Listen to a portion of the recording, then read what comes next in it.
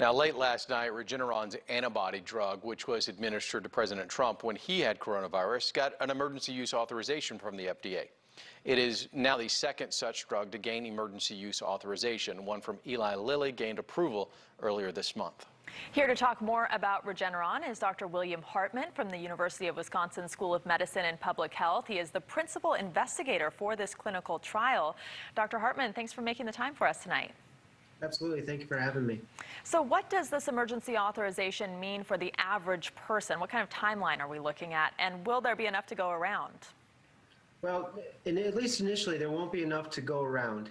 Uh, we're talking probably 80,000 doses by the end of this month, 200,000 doses by the end of the year. So, enough to take care of some of uh, the people most at risk of developing severe disease, but not enough to uh, cover what we need to get to help get this pandemic under control.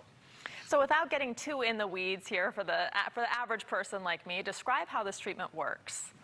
Sure. So th this is a combination of two very potent, very strong antibodies that attack that spike protein that sticks out of the virus.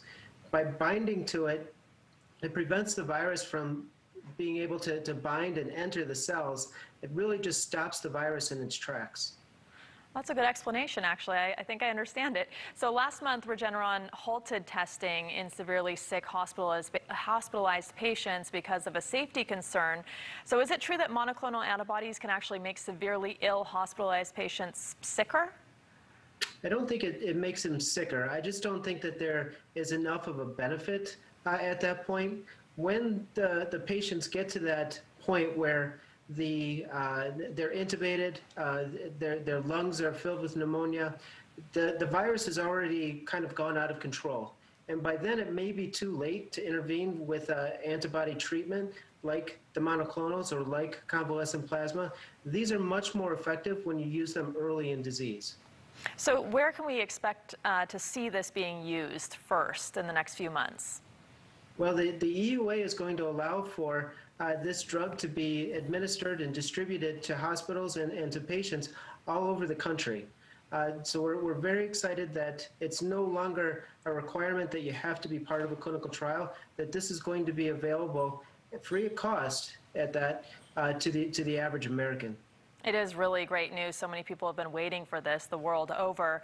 Um, are there any concerns, though, that people are becoming complacent now that we have this good news on the vaccine front and we have good news about a treatment like this, that sometimes people might think this is the cure all and let their guard down? I think that that's a the million dollar question. And we do caution against complacency. Uh, we're not there yet. We're, we're, we're seeing a light at the end of the tunnel, but it's still a very long tunnel.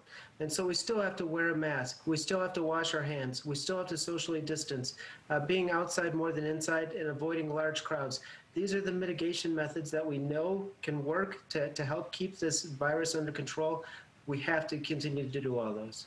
And I know in your state, in Wisconsin, the hospitals are, are getting overrun as well. What is your advice to people watching this who are making plans for Thanksgiving to gather with family and to travel?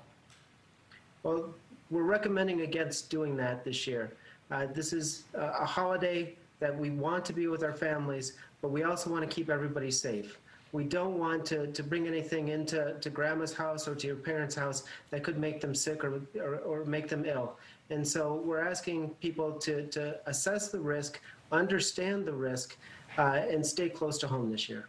Dr. William Hartman, great work. Congratulations, and thank you very much for being here. Thank you very much.